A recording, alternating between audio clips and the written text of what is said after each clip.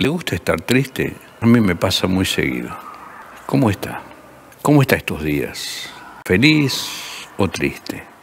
Estas dos mujeres estaban tristes por algo muy serio.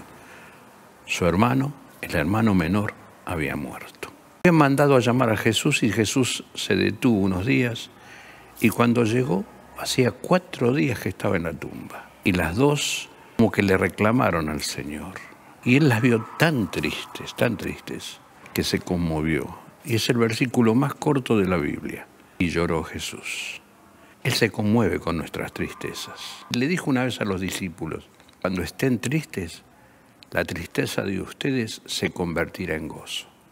¿Por qué se va a convertir en gozo una tristeza? Porque Cristo está con nosotros.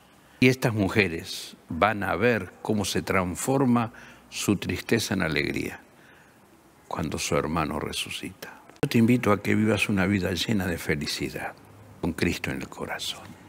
Él enjuga toda lágrima. Dios es el Dios de toda consolación. Acepta a Cristo como tu Salvador y vas a ser muy feliz. Que Dios te bendiga.